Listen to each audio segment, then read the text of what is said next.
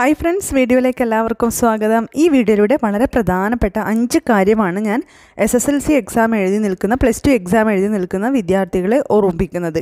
അതിൽ ഒന്നാമത്തെ കാര്യം ഈ അതായത് എക്സാം കഴിഞ്ഞതിന് ശേഷം ഇതൊരു വെക്കേഷൻ ആയിട്ട് നിങ്ങൾ കരുതുന്നതിന് പകരം അത് ചെറിയ കുട്ടികൾക്ക് നമ്മൾ മുതിർന്ന കുട്ടികളായി വന്നു അപ്പോഴേ നമുക്ക് ഇനി ഫ്യൂച്ചർ കരിയറിന് വേണ്ടിയിട്ട് നമ്മുടെ ഇനി ഹാപ്പിയായ ഒരു ഫ്യൂച്ചർ ലൈഫ് നമുക്ക് ഉണ്ടാവണമെങ്കിൽ ഈ ഒരു ടേണിംഗ് പോയിന്റ് എന്ന് പറയുന്ന ഈ ഒരു സമയത്ത് നമ്മൾ നല്ല രീതിയിൽ ബുദ്ധിപൂർവം മുന്നോട്ട് നീങ്ങിയേ പറ്റുള്ളൂ. അപ്പോൾ നമ്മൾ ശ്രദ്ധിച്ചിരിക്കേണ്ട അഞ്ച് കാര്യമാണ് ഞാൻ ഇവിടെ ഓർമ്മിപ്പിക്കുന്നത്.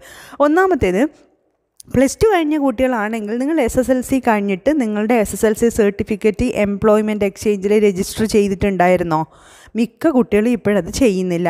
അങ്ങനെയാണെങ്കിൽ മുന്നേ ഒക്കെ നമ്മൾ ഓഫീസിൽ പോയിട്ടായിരുന്നു. പിന്നീട് കോവിഡ് കാലം മുതൽ അത് ഓൺലൈനായി രജിസ്റ്റർ ചെയ്യാനും സൗകര്യമൊക്കെ ഉണ്ടായിരുന്നു. നിങ്ങൾ എവിടെയാണ് ഏത് ജില്ലയിലാണോ അവിടെ നിങ്ങൾ ഏത് എംപ്ലോയ്മെന്റ് എക്സ്ചേഞ്ചിന്റെ കീഴിലാണോ വരുന്നത് അവിടെ ഡീറ്റെയിൽ ആയി നിങ്ങൾ അന്വേഷിച്ചിട്ട് എങ്ങനെയാണ് രജിസ്റ്റർ ചെയ്യേണ്ടത് നിങ്ങളുടെ എസ് എസ് എൽ സി ബുക്കും അതുപോലെ ഐഡന്റിറ്റി പ്രൂഫും ഒക്കെ എടുത്ത് പോയിട്ട് നിങ്ങളൊന്ന് രജിസ്റ്റർ ചെയ്യാം.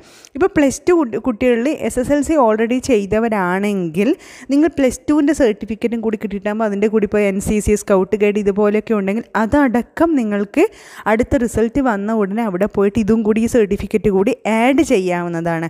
അതോടൊപ്പം നിങ്ങൾ പുതുക്കേണ്ട സമയം വരുമ്പോൾ കൃത്യമായിട്ട് ഈ സർട്ടിഫിക്കറ്റൊക്കെ പുതുക്കുകയും വേണം. അതേസമയം നിങ്ങൾ S S L C students ആണെങ്കിൽ നിങ്ങളുടെ റിസൾട്ട് വന്നതിന് ശേഷം നിങ്ങൾ തിരക്കില്ലാതെ ഒരു സമയം നോക്കിയിട്ട് അവിടെ പോയി ഡീറ്റെയിൽസൊക്കെ അന്വേഷിച്ചിട്ട് എങ്ങനെയാണെന്ന് വെച്ചാൽ നിങ്ങളല്ലേ നിങ്ങൾ പോകണമെന്നില്ല. നിങ്ങളുടെ വീട്ടിൽ ആരെങ്കിലും ഡീറ്റെയിൽസൊക്കെ കൃത്യമായി അന്വേഷിച്ചതിന് ശേഷം നിങ്ങൾ നിങ്ങളുടെ certificate S S L C certificate നിങ്ങൾ അവിടെ രജിസ്റ്റർ ചെയ്യണം. അത് രജിസ്റ്റർ ചെയ്ത ഉടനെ നിങ്ങൾക്ക് ജോലി കിട്ടൂ എന്ന് ചോദിച്ചാൽ അങ്ങനെയല്ല. എങ്കിലും അതൊക്കെ നമ്മുടെ ഒരു അതായത് നമ്മുടെ ഒരു ഫ്യൂച്ചർ കരിയറിന് നമ്മൾ പ്രിപ്പയർ ആകുന്നു എന്നതിന്റെ ഒരു സ്റ്റാർട്ടിംഗ് ആണ്. ചിലപ്പോൾ നിങ്ങൾക്ക് നിങ്ങളിങ്ങനെ രജിസ്റ്റർ ചെയ്ത് വെയിറ്റ് ചെയ്ത് വെയിറ്റ് ചെയ്ത് നിൽക്കുമ്പോൾ ഒരുപക്ഷെ മറ്റ് ജോലിയൊന്നും കിട്ടാത്തൊരു സമയത്താണെങ്കിൽ കുറച്ച് കാലത്തേക്കൊക്കെ ടെമ്പററി ആയിട്ട് സിക്സ് മന്ത്സ് ത്രീ മന്ത്സ് ഒക്കെ ചിലപ്പോൾ പെട്ടെന്ന് വിളിച്ചിട്ട് നിങ്ങൾക്ക് ജോലി കിട്ടിയേക്കാം. മുൻകാലങ്ങളിലൊക്കെ അങ്ങനെ വിളിക്കുന്നത് പിന്നീട് സ്ഥിരപ്പെടുത്താറുമുണ്ട്.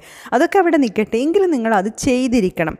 ഇനി രണ്ടാമതായി ചെയ്യേണ്ട പ്രധാനപ്പെട്ട കാര്യം S S L C exam എഴുതിയവരാണോ? Plus two exam എഴുതിയവർ നിങ്ങളെല്ലാം പതിനഞ്ച് വയസ്സ് കംപ്ലീറ്റ് ആയവരാണെങ്കിൽ നിങ്ങൾ ചെയ്യേണ്ടത് നിങ്ങളുടെ ആധാർ അപ്ഡേഷൻ നടത്തണം. അതായത് നിങ്ങളുടെ ബയോമെട്രിക് ഇൻഫർമേഷൻസൊക്കെ നിങ്ങൾ ചെറിയ കുട്ടികളായിരുന്നപ്പോൾ ഉള്ളതായിരിക്കും നിങ്ങളുടെ ഐക്കോൺ അതുപോലെ കൈയുടെ ഒക്കെ എല്ലാം ബയോമെട്രിക് എല്ലാ ഡാറ്റാസും പഴയതായിരിക്കും. ഇപ്പോൾ നിങ്ങൾ പതിനഞ്ച് വയസ്സ് കഴിയുന്നതോടുകൂടി ആ ഒരു ഡാറ്റാസൊക്കെ നിങ്ങൾ അപ്ഡേറ്റ് ചെയ്യണം. അപ്പോൾ നിങ്ങളുടെ നിയറസ്റ്റായി ആധാർ അപ്ഡേഷൻ സെന്റർ അത് എല്ലാ അക്ഷയ കേന്ദ്രങ്ങളും ചെയ്യണമെന്നില്ല. അതിന് പ്രത്യേക സെന്റർ ഉണ്ടാവും.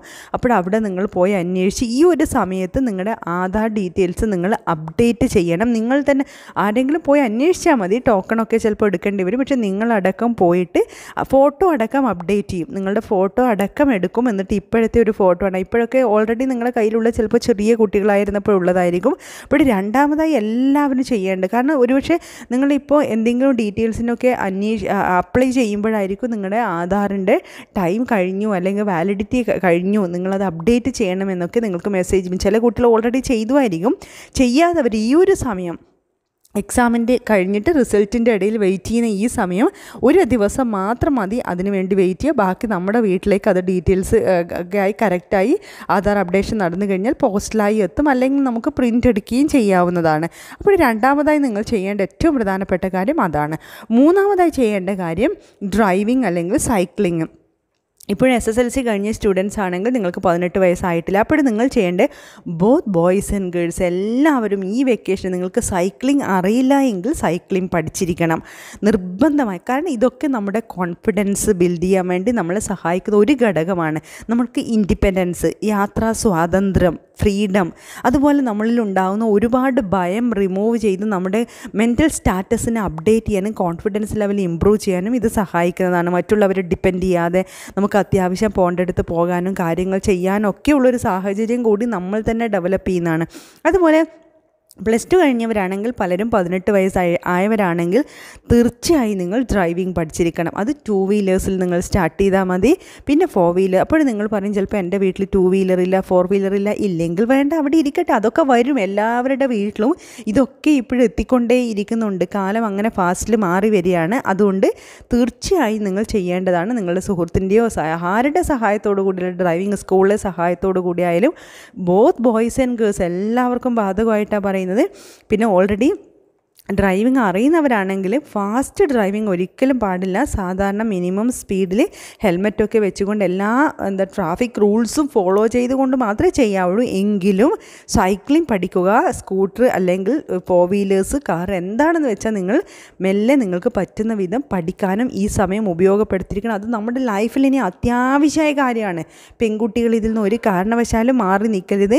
പെൺകുട്ടികളും കൂടി ഇത് പഠിച്ചേ പറ്റുള്ളൂ. ഞാൻ വീണ്ടും വീണ്ടും ഓർമ്മിപ്പിക്കുന്ന കാര്യമാണ്. ഈ മൂന്ന് കാര്യമാണ് ആദ്യം എനിക്ക് ഓർമ്മിപ്പിക്കാനുള്ളത്. അതേ അതിന്റെ കൂടെ ഏറ്റവും പ്രധാനപ്പെട്ട വേറൊരു കാര്യമാണ് നമുക്കറിയാം ഇപ്പോഴെല്ലാം ആഫ്റ്റർ പ്ലസ് ടു പ്ലസ് പത്താം ക്ലാസ് വരെയുള്ള കുട്ടികൾ ഇനി പ്ലസ് വണ്ണിലേക്ക് മാർക്കിന്റെ ബേസിൽ അഡ്മിഷൻ എടുക്കും. പക്ഷേ ആഫ്റ്റർ പ്ലസ് ടു എല്ലാം എൻട്രൻസ് ബേസ്ഡ് അല്ലേ വരുന്നത്?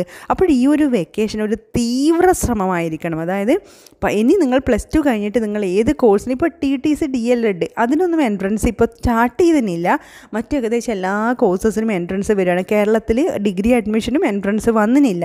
അപ്പോൾ നിങ്ങൾ എൻട്രൻസ് അങ്ങനെ എന്തെങ്കിലും ഇപ്പോൾ നീറ്റ് ആവട്ടെ കീം ആവട്ടെ അതുപോലെ സെൻട്രൽ യൂണിവേഴ്സിറ്റിയിലും പഠിക്കാൻ ആഗ്രഹിക്കുന്നവരാവട്ടെ അല്ലെങ്കിൽ ഐസർ ആപ്റ്റിറ്റ്യൂഡ് ടെസ്റ്റ് എഴുതാനിരിക്കുന്ന നാറ്റി ആവട്ടെ അങ്ങനെ ഏത് ടെസ്റ്റ് നിങ്ങൾ എഴുതാൻ അപ്ലൈ ചെയ്ത് നിൽക്കുന്നവരാവട്ടെ ഇനി അപ്ലൈ ചെയ്യാൻ ആഗ്രഹിക്കുന്നവരാവട്ടെ അതിനു വേണ്ടിയുള്ള ഒരു തീവ്ര ശ്രമം നമ്മുടെ പ്ലസ് ടു കണ്ടന്റ് എല്ലാ വിധത്തിലും കംപ്ലീറ്റ് തറവാക്കാനുള്ളൊരു ശ്രമം കൂടി ഈ ഒരു വെക്കേഷൻ ടൈം നിങ്ങൾ പ്രയോജനപ്പെടുത്തിയിട്ട് ആ എക്സാമിന് വേണ്ടി പ്രിപ്പയർ ചെയ്യുക. അതാണ് നാലാമതായി ഉള്ള അത് കാരണം ഇതൊക്കെ നമ്മുടെ ലൈഫിൽ ഒരു സേഫായി കംഫർട്ടബിളായി നമ്മൾ ആഗ്രഹിക്കുന്ന ഒരു ജോലി കിട്ടുന്നതിന്റെ സ്റ്റാർട്ടിംഗ് ആണ് അതൊക്കെ. ഒരു ഒരു ഡെഡിക്കേഷൻ ഒരു ഡെഡിക്കേറ്റഡ് ആയി നമുക്ക് വേണ്ടി വേണമെന്ന് കരുതി നമ്മൾ തന്നെ ചെയ്തിരിക്കണം തുടങ്ങിയിരിക്കണം.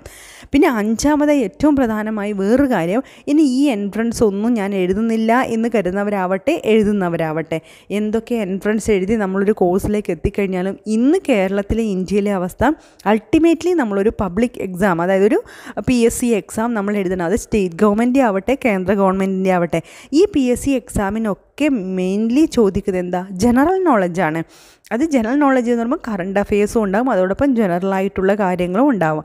അപ്പോഴേ എല്ലാ ദിവസവും നിങ്ങൾ ന്യൂസ് പേപ്പർ കൃത്യമായിട്ട് വായിക്കണം. ഇപ്പോൾ ന്യൂസ് പേപ്പർ വായിക്കുന്നൊക്കെ അത് നിങ്ങൾ പേപ്പർ തന്നെ വായിക്കുന്ന മീൻസ് നിങ്ങളുടെ സിസ്റ്റത്തിൽ നിന്ന് വായിച്ചാലും മതി. കാരണം ഈ ന്യൂസ് പേപ്പറായിട്ട് നമ്മുടെ മുന്നിലേക്ക് ഇപ്പോൾ എത്തുന്നുണ്ടല്ലോ സോഫ്റ്റായിട്ട് അപ്പോൾ അത് വായിച്ചാലും മതി. എല്ലാ ദിവസവും ന്യൂസ് പേപ്പർ വായിക്കുന്ന ഹാബിറ്റ് ഇല്ല എങ്കിൽ അത് സ്റ്റാർട്ട് ചെയ്യാം. അതിന് ബുക്ക് അതിന് പുറമെ ഓരോ വർഷവും ഇപ്പോഴേ ഇയർ ബുക്സ് ഇറക്കുന്നുണ്ട്. പല മനോരമ മാതൃഭൂമിയൊക്കെ ആ ഇയർ ബുക്സ് വാങ്ങി വെക്കുക വായിക്കുക. ഇനി ഇങ്ങനെ അതായത് ജനറൽ നോളജ് പഠിക്കുന്ന ഒരു പ്രവണത നിങ്ങൾ സ്റ്റാർട്ട് ചെയ്യുക തുടരുക അതില്ല എങ്കിൽ നിർബന്ധമായിട്ട് നിങ്ങൾ ബോധപൂർവം ഡെവലപ്പ് ചെയ്യണം. ഇനി ചിലവർ പറയും എനിക്കിങ്ങനെ ഒറ്റയ്ക്ക് ഇരുന്നിട്ട് ജനറൽ നോളജ് പഠിക്കലെല്ലാം ബോറിംഗ് പരിപാടി എനിക്കൊന്നും ഒറ്റയ്ക്ക് ഇതൊന്നും പറ്റില്ല എന്നാണെങ്കിൽ നിങ്ങളൊരു പി എസ് സി കോച്ചിങ് സെന്ററിൽ ചേർന്നോളൂ.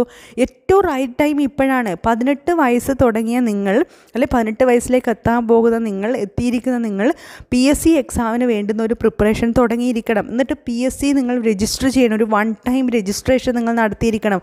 ജനറൽ നോളജ് പഠിക്കുക. അത് ആരായാലും നീറ്റ് കീമിനൊക്കെ പ്രിപ്പയർ ചെയ്യുന്നവരാവട്ടെ അല്ലാത്തവരാവട്ടെ. എനിക്ക് ജസ്റ്റ് ഒരു ലാംഗ്വേജ് കോഴ്സ് മതി ഒരു ബി എ കോഴ്സ് മതി എന്നൊക്കെ കാത്തിരിക്കുന്നവരാവട്ടെ ആരും ആവട്ടെ. ഇപ്പം നമ്മളൊരു D L Ed T T C കഴിഞ്ഞു അല്ലെ ഡി എഡ് അല്ലെങ്കിൽ ബി എഡ് കഴിഞ്ഞു എന്നാലും നമ്മളിനി പി എസ് സി എക്സാം എഴുതിയേ പറ്റൂ. അപ്പോൾ അതിന്റെ ഒരു സ്റ്റാർട്ടിങ് ഇപ്പോഴും ഇട്ടിരിക്കണം നമ്മൾ. ഒരു വൺ ടൈം രജിസ്ട്രേഷൻ നിങ്ങൾക്ക് ഓൺലൈനായി കയറി എങ്ങനെ രജിസ്റ്റർ ചെയ്യണം എന്നൊക്കെ ഓൺലൈനായിട്ട് തന്നെ അറിയാൻ വേണ്ടി പറ്റും. ഇനി അല്ലേ നിങ്ങളൊരു അക്ഷയ കേന്ദ്രത്തിൽ പോയിട്ട് നിങ്ങളുടെ ഡീറ്റെയിൽസും ഒരു ഫോട്ടോയൊക്കെ എടുത്ത് പോയിട്ട് ഒരു വൺ ടൈം രജിസ്ട്രേഷൻ നടത്തുക പി എസ് സി ആ വൺ ടൈം രജിസ്ട്രേഷൻ നടത്തി കഴിഞ്ഞാൽ പിന്നെ എല്ലാ വേക്കൻസിക്ക് വേണ്ടിയിട്ട് നമുക്ക് അപ്ലൈ ചെയ്യാം.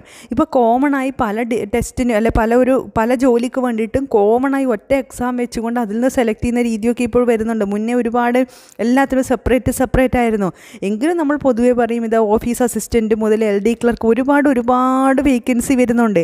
അപ്പോൾ ഇതിനൊക്കെ മെയിൻലി ജനറൽ നോളജാണ് ചോദിക്കുന്നത്. അപ്പോൾ അതിനൊക്കെ അപ്ലൈ ചെയ്യാനുള്ള ആദ്യം വൺ ടൈം രജിസ്ട്രേഷൻ നടത്തണം. നിങ്ങൾക്ക് ഒറ്റയ്ക്ക് പറ്റില്ല എങ്കിൽ നമുക്ക് ഓൺലൈൻ ഗൂഗിളിൽ സെർച്ച് ചെയ്താൽ കിട്ടും. എങ്ങനെ ചെയ്യണമെന്ന് അറിയില്ല എങ്കിൽ നിങ്ങളൊരു അക്ഷയ സെന്ററിൽ പോവുക ചെയ്യുക.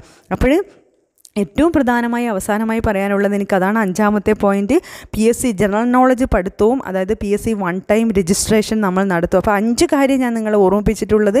ഒന്നാമത്തേത് നമ്മൾ എംപ്ലോയ്മെന്റ് എക്സ്ചേഞ്ചിൽ രജിസ്റ്റർ ചെയ്യണം. S S L C result കാത്തിരിക്കുന്നവരാണെങ്കിൽ അത് വന്നിട്ട് ചെയ്താൽ മതി.